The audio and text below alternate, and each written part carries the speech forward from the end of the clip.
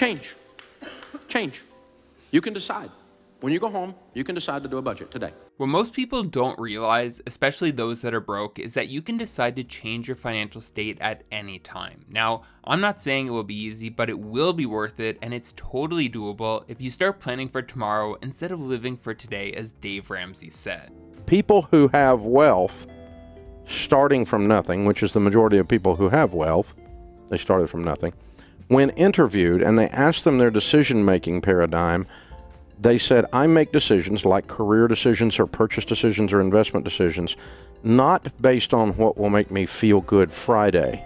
Well, today you're going to make the decision to stop being broke and to change your financial life for the better, and you'll start by avoiding all 31 of these items that broke people waste money on. Number 1. Expensive dates. No, I'm not talking about the dates you bake into your cake. When I say expensive dates, I mean the ones you go out on with a prospective lover or your current partner. While it's nice to get all dressed up from time to time, dates can get incredibly expensive in a hurry. From the cost of dining, transportation, and drinks, you can easily blow a couple hundred dollars on a simple night out. If you're struggling to get ahead, this is an expense you absolutely have to moderate. For date nights, go for a walk, cook a meal at home, and save yourself the money while still having just as good of a time. Number 2. Snap purchases. You're in line at Walmart and a pack of gum catches the corner of your eye. You don't need gum, but it's there so you figure you might as well. These snap or impulse purchases don't seem like a big deal in the moment, but they sure add up over time. A recent survey showed that consumers in the US were spending upwards of $300 a month on impulse buys. That's enough money to make significant headway in your retirement savings efforts that many people are throwing away over a pack of gum that's only gonna rot their teeth. Number 3. Late fees. Do you want an easy way to lose money? Just throw away your money to late fees like many Americans. Americans these days are paying just under $600 a year in late fees, mostly relating to missed bills. That's kind of embarrassing if you ask me, but the good news is this money issue has a quick fix. Just set up automatic payments with your service provider so that your credit card gets billed monthly. Then have your credit card clear itself out against your bank account every couple weeks. This way, you'll avoid missing bill payments and have your TV or lights go off while saving you hundreds of dollars in the process. Number 4. Outdoor coffees. Who doesn't love picking up a cup of Starbucks on the way to work? I know I do. Even Dave Ramsey, the man who has helped millions of people improve their finances, loves a good cup of joe. However, for the average person looking to get ahead, indulging in outdoor coffees isn't going to help them achieve their financial goals. When you consider a drip coffee at Starbucks is $3 and a cup made at home costing mere 10 cents, you can see how much extra you're paying for the same caffeinated drink. Sure, a dollar here or there doesn't seem like a big deal, but those little expenses add up, especially based on how often many people are grabbing their coffees on the go. Number 5. Eating out. We all love eating out at restaurants from time to time, that is, until the bill comes and we have to open up our wallets. There's no doubting the fact that eating out can be expensive, and as Dave Ramsey says, it's cheaper to make a meal at home than it is at any restaurant. This is entirely true, and typically eating at home is also healthier too. You know what is going into your meal and can even turn your new cooking habit into a wonderful skill you can enjoy over time. Number 6. Credit card debt. If you didn't already know how Dave Ramsey feels about credit card debt, then here's a little preview. Uh, you know what? The credit card is the cigarette of the financial world.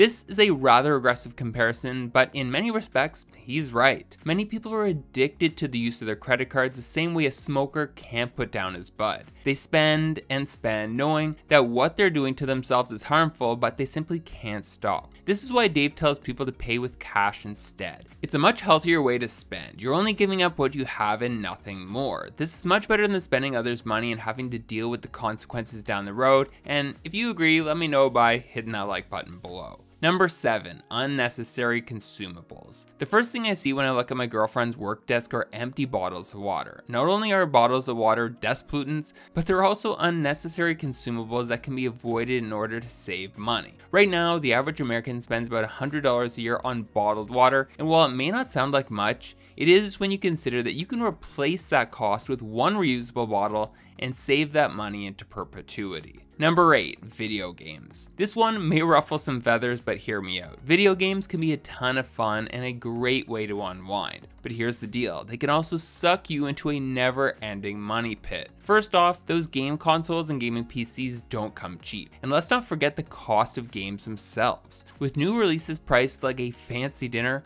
your wallet might be crying faster than your character responds. Then there's the addictive nature of gaming. It's easy to get sucked into endless hours of gameplay, neglecting other important aspects of life. Before you know it, your bank account is drained and you're no closer to achieving real life goals. Dave Ramsey is all about getting real results. He wants his followers to live in reality and make actual life progress, which you can't do if you're spending all your time and money on video games. Number 9. Unnecessary insurance. Being overinsured or having the wrong types of insurance is like throwing your money into a black hole. I mean it. Now, insurance is important, no doubt about it, but unnecessary insurance? That's like purchasing a parachute for a stroll in the park. Here's the deal insurance companies are masters at making you feel like you need coverage for every little thing. They'll try to convince you that insuring your smartphone or your pet's toenails is crucial, but come on, do you really need that? Before you dive headfirst into every insurance policy out there, take a step back and assess if it's truly necessary. Focus on the essential coverage like health insurance or car insurance and skip the extras that just drain your bank account. Number 10, avoidable taxes. Avoiding taxes is an easy way to start saving more money, but before you think I'm advocating for illegal tax evasion, let me set the record straight. I'm talking about employing smart, legal strategies that help you keep more of your hard earned cash in your own pocket and have less going into the hands of the government. Here's the deal taxes are a buzzkill draining your income faster than you can say IRS. Fortunately, by understanding the tax system and taking advantage of legitimate deductions and credits, you can maximize your savings and stash more cash. From deducting business expenses to contributing to retirement accounts, there are plenty of tax breaks available if you know where to look. Number 11, buying expensive cars. Despite being a multimillionaire, Dave Ramsey has a very frugal perspective on car buying. Fran, Okay. you can get a great old Camry or a great old uh, uh, Ford Taurus or a Cavalier or uh, something like that. These are just little land yachts, right?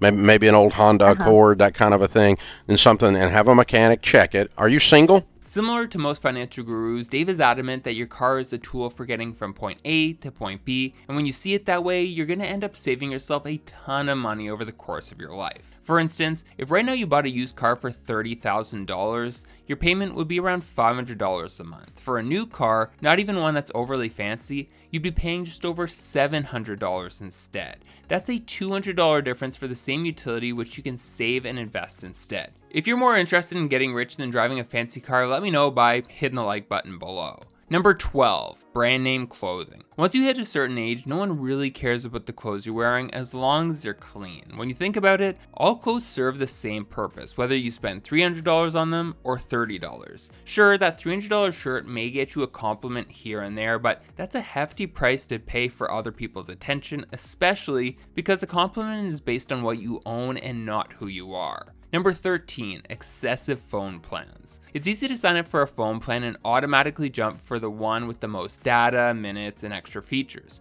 I know for myself personally, I've been guilty of doing this in the past. I would sign up for a 50 gig plan only to realize that I was only using a fraction of it while still paying full tilt. As Dave Ramsey says, paying for your phone through a contract plan is still a debt, so clearing it as quickly as possible is key to being financially free. In other words, treat it as any other debt and pay it down on time and in full every single month. Number 14, party costs. Partying is fun, but it can also come with a hefty cost, especially when alcohol is involved. When drinks start flowing, not only is this a drain on your wallet, but on your mental capacity as well. For instance, it costs roughly $80 to go out on a night out, and if you ask me, those numbers are conservative. Many people go out every weekend, so that's over $300 just in party expenses every single month. But what about bodily drawbacks? It's been shown that even moderate amounts of drinking can reduce your mental cognition, making you broke and slow all at the same time. If you're tired of being broke, giving up a few drinks is a wise financial move. Number 15, addictions. Fortunately, the rate of tobacco use amongst Americans has dropped to 11% over the last few years. If you're still a part of this shrinking population, then seeking help to quit is highly recommended, as tobacco use is easily one of the most expensive habits you can have. It's not uncommon for a person to spend hundreds of dollars a month on cigarettes to meet their addiction needs. Not only is this habit eroding your health, but robbing you of financial success. Don't believe me? If you invested your $200 cigarette fund into an investment that paid you 7% for 30 years, you'd end up with almost $250,000 in three decades' time. Not to mention, you'd also likely avoid a ton of undesirable health consequences, making you richer and healthier. So, if your hard earned cash is currently being spent on addictions, do your best to cut them out as soon as possible. Number 16, inflation. Picture this, you stash your money in a savings account thinking you're being responsible and all, but guess what?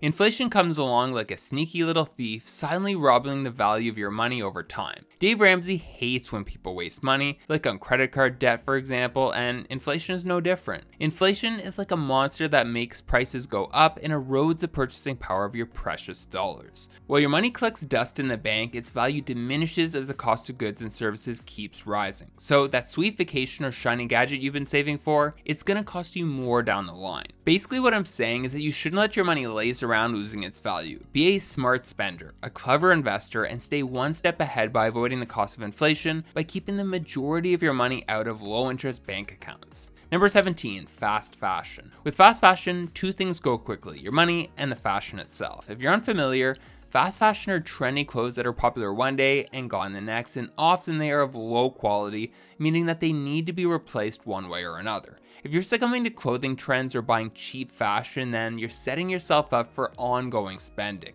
Instead, find pieces of clothing that are timeless, buy quality, and enjoy them for years to come. Number 18, extended warranties. Companies love preying on your fear that the items you buy are going to fail, and they do this by selling you extended warranties. Sure, they can pay off from time to time, but often they aren't needed, and you end up paying much more than you have to. Plus, many products come with manufacturer warranties already, so the items you're buying will still have some coverage. If you want an easy way to determine if you should buy an extended warranty, simply equate the average cost to repair against the cost of insurance, and whichever is higher is a one to protect against. Number 19, unused subscriptions. Subscriptions are a very sneaky type of expense, and as you know, Dave Ramsey hates when people waste their money. What's the issue with subscriptions? First off, their low prices make them appear to be harmless. It's the $10 you pay every month for services like Netflix and Amazon. However, because of this fact, they tend to be easy to accumulate over time. It's $10 here and $10 there, and before you know it, you have $200 worth of monthly subscriptions, which are impairing your ability to save. The second issue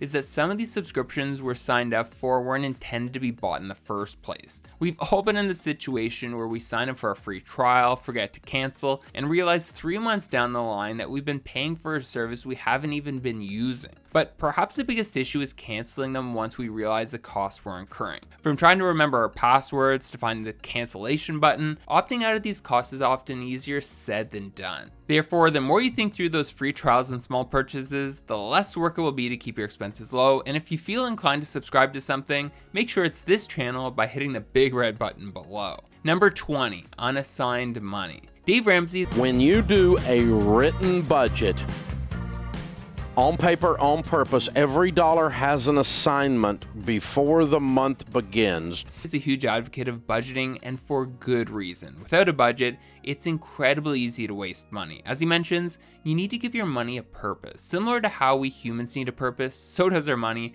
and the best way to use our money wisely is to plan for how it will be used. Some of your monthly income should go towards needs like food and shelter. Some should go towards wants, and finally, a fair percentage should also go towards savings. However, making sure all these buckets are addressed will only be possible if you're budgeting before the month begins. Number 21, cable TV. I know what you're thinking, who still has cable these days? And I thought the same thing, that is, until I did a bit of research. As recently as this year, 48% of Americans claim to still have a cable or satellite subscription. Now, if you're only paying for cable, then it's not such a big deal, but most people aren't. On top of cable, they're also having numerous streaming subscriptions they pay for, and with cable alone costing the average person around $83 a month, it's not hard to estimate that most people are paying over $100 just for TV. Therefore, if you want to stop wasting money on TV, Audit what you're actually watching and assess which services should stay and which should go. Number 22, non generic medications. When it comes to our health, we should be making the wisest decisions possible. Unfortunately, many people equate the price of their medications to the efficacy, and this simply isn't the truth. Most people pay for brand name meds, which are commonly 30 to 40% higher in price compared to their generic counterparts. As Dave Ramsey says, live on rice and beans as a means to get ahead, and not wasting money paying for brand name medication is a way to embody his rice and bean mantra. Number 23, car leasing. If you haven't heard Dave Ramsey's opinion on leasing cars, then you need to listen to this. Car leasing is the most expensive way on the planet to drive a vehicle.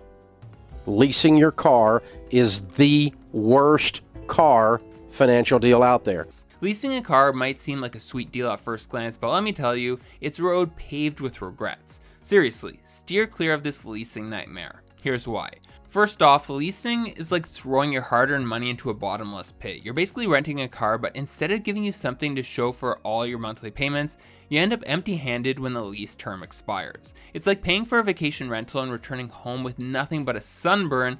And don't be fooled by those low monthly payments. Sure, they may look tempting, but read the fine print. Leases come with all sorts of hidden fees and mileage restrictions. Exceed your allotted mileage and you'll be hit with hefty penalties. Not to mention, you're expected to return the car in pristine condition. A tiny scratch or ding could cost you a fortune. But wait, it gets worse. Leasing locks you into a long-term commitment. Want to end the lease early? Prepare to fork over a mountain of cash to break free from the shackles. Plus, you're stuck with limited customization options. Forget about making the car truly yours. So unless you enjoy flushing money down the drain, stay away from leasing. It's a bad deal wrapped in shiny paper. Save your sanity and buy a car outright or opt for a reliable used one. Trust me, your bank account will thank you and you'll avoid the lease-induced headaches. Number 24, unused gym equipment. We've all been there. You get all pumped up after watching an infomercial promising rock hard abs and buns of steel in just 10 minutes a day. So you swipe your credit card and bring home that shiny piece of metal that promises to transform your life. But guess what? It ends up collecting dust in the corner of your room, serving as a clothes rack rather than a ticket to fitness glory. If you want to use your money wisely, consider this. Most people don't have the time or the motivation to stick to a rigorous exercise routine. So before you splurge on that expensive equipment, think twice. Save your dough and hit the local gym instead. Trust me, your wallet will thank you, and you won't be left with a treadmill turned coat rack reminder of your fitness aspirations. Number 25, the wrong partner. People don't always pick the right partner, and when they don't, the financial consequences can be severe. Sometimes a partner will have bad money habits that will rub off on you and impair your ability to get ahead. Sometimes their intentions are more malicious. What do we call these types of people, Dave? Right. She's a gold digger. Um, And he's we're well aware his lavishly on her. birthday suit needs ironing. Okay, I mean this is this is not an attraction. This is a money thing. Hmm. It's a money play, and um, so you know he's being taken advantage of. That's why you should ensure that whoever you decide to build a relationship with has not only good money habits, but the right intentions as well. They should want you for you, not any financial means you may happen to have. Number 26, banking fees. You don't have to look very hard to find out just how much Dave Ramsey despises banks. Banks are on edge. Dave, I've got a Kleenex if you need one. I have a tear. Banks, bank, banks are on edge. We're in the 21st century, people. It's the era of online banking and digital transactions. So, why on earth are banks still charging us outrageous fees for basic services? Seriously, that's like paying extra for premium air package when you can breathe for free. And let's not forget about those overdraft fees that make your bank account cry. You slip up by a few cents and bam, you're slapped with a fee that feels like a sucker punch to your wallet. The good news is that there are plenty of fee-free or low-fee banking options out there if you do your homework. Given that you shouldn't be leaving too much money in the bank beyond your emergency fund, using a bank as a low-cost safe haven should be the goal of any account you plan on opening, besides avoiding fees of course. Number 27, getting the wrong education. If you, whether you're the student that's watching us maybe on YouTube and you're thinking of going into college in the future, you're 17, 18, 16, 19, whatever in that age group, or whether you're the parent. The thing that Anthony and I have seen where the largest mistakes happen, I mentioned to her earlier, it was her mom didn't know anything about higher education. Fact. While the value of a degree has been declining for years, getting the right one can still yield great financial benefits. The issue is that the wrong degree not only leaves you without a skill set you can use to find a lucrative job, but likely with mounting student debt as well. That's why before you pursue more education, you want to identify future job prospects and salary ranges to ensure that the investment you're about to make will be a profitable one. Number 28, home improvements. We've all seen those fancy home makeover shows that make us drool over granite countertops and spa-like bathrooms, but here's the deal. Not all improvements add value to your home. You might pour a ton of cash into remodeling your kitchen, only to find out that potential buyers don't care about your fancy backsplash or hood fan. And let's not forget about the never ending cycle of maintenance and repairs. You fix one thing and something else breaks. It's like playing a game of whack a mole with your wallet. Plus, home trends change fast. That quirky wallpaper or paint color you just have to have, yeah,